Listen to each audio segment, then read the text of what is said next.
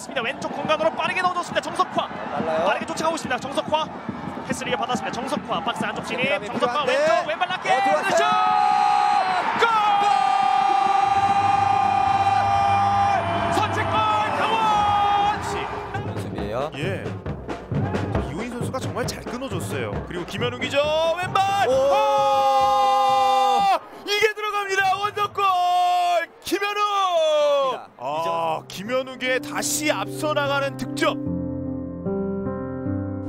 운동 분위기가 많이 생각날 것 같아요. 운동 분위기가 일단 너무나도 가족적이고 선수들이 자유로울 수 있도록 많이 형성이 돼 있기 때문에 가장 조금 생각이 날 것 같긴 해요.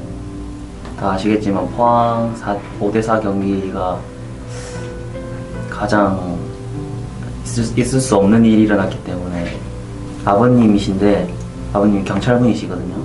경찰분이신데 저에게 항상 경기 끝나면 거기 지역 특산물도 주시고 저가 잘 어울릴 만한 티셔츠 선물해 주시고 그런 분들이 많았어요. 근데 그분 항상 경기 끝나면 저랑 인사하고 얘기도 나누고 같이 진짜 시간이 되면 밥 한 번 식사 한 번 대접하고 싶었는데 그게 좀 아쉽긴 해요.